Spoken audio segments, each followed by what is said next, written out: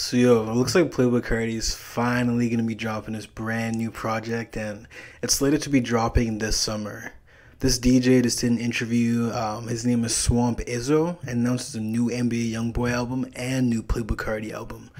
And so he also does a lot of um, mixtapes with Lil Wayne. So there's actually this theory going around because recent, recently there was a snippet of Playboi Carti rapping over a Lil Wayne instrumental from one of the dedication series. And um, apparently Swamp Izzo was one of the people that hosted that, that project and DJed on it. So there's rumors this, this new Playboi Carti project, maybe him just kind of rapping the same kind of style is what Lil Wayne did, just rapping over, you know, just like old school instrumentals. I wasn't the biggest fan of the instrumental by a long shot. I thought it was kind of mid and trash, but nevertheless, Playboi Carti is one of the one of the best of his new generation. Pretty much influenced everybody, including Yeat, Straight Lonely, all of Opium, the whole underground. Everybody giving Playboi Carti praise and stuff like that. But all I know in general, I'm just excited for some new Playboi Carti music because a Whole Lotta Red, easily a classic, man.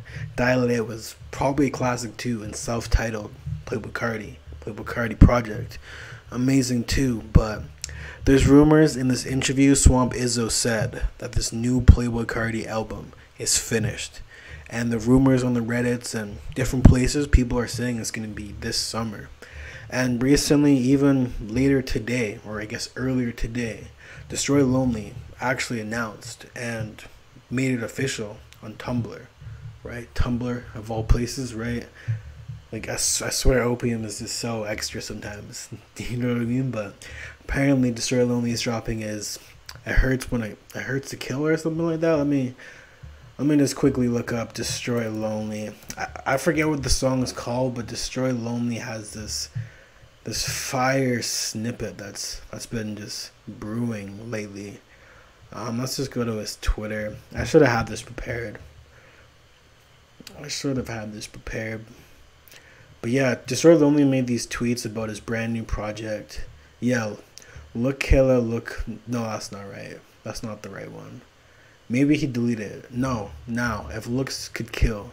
And that's been a very, very viral snippet. It's kind of like this ambient Lil Peep destroy lonely style song. And it's just going all the way up on tiktok right now. And apparently that's also the title of the project. And that project is slated to be dropping in april. So it looks like we're probably going to get a destroy lonely album then a ken carson album all before playboi carti drops his new album. Um, i guess it's going to be called music. I'm not i'm not really sure yet but one thing else I want to say, this is like a really, really good PR, uh, PR move by the Opium and Playboi Carti camp. Because just last week, everybody on Twitter was saying, Opium is done. Opium is done. And you know why people said Opium was done? Because Homixide Gang had some really controversial situations, including going after underage girls when they're in their early 20s after their shows. And then the biggest one, the biggest headline, and this all happened all in the same week. And this is when Playboi Carti got arrested for allegedly choking out his pregnant girlfriend. You know what I mean? So Playboi Carti's whole PR team is insane because I think everybody just totally forgot about what happened with Opium last week.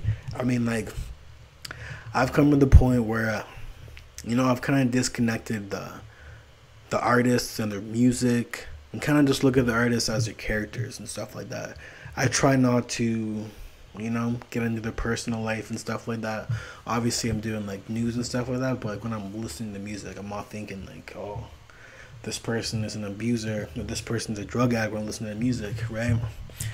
But yeah, obviously, I don't condone those actions by Playboi Carti or the members of Homixide Gang, especially Beno. But yeah, anyways, I'm just super excited for this new Playboi Carti project. Realistically, he doesn't actually need to drop. Like a Whole Lotta Red is just that impactful. It doesn't like he, he's in no no need to, to drop. I would be satisfied if Ken Carson Destroy Lonely just drop projects. I'd be I'll be perfectly okay with that because Playboi Carti made a classic, changed the whole underground scene. So I think we're good. But yo, let me know in the comments what you guys think. when do you think Playboi is actually dropping his brand new project? Because I don't think it'll be in the summertime. People are saying it'll be in the summertime, but I don't think it will be. I think it'll be late this year or 2024. Like this video, subscribe, and let me know in the comments what you guys think.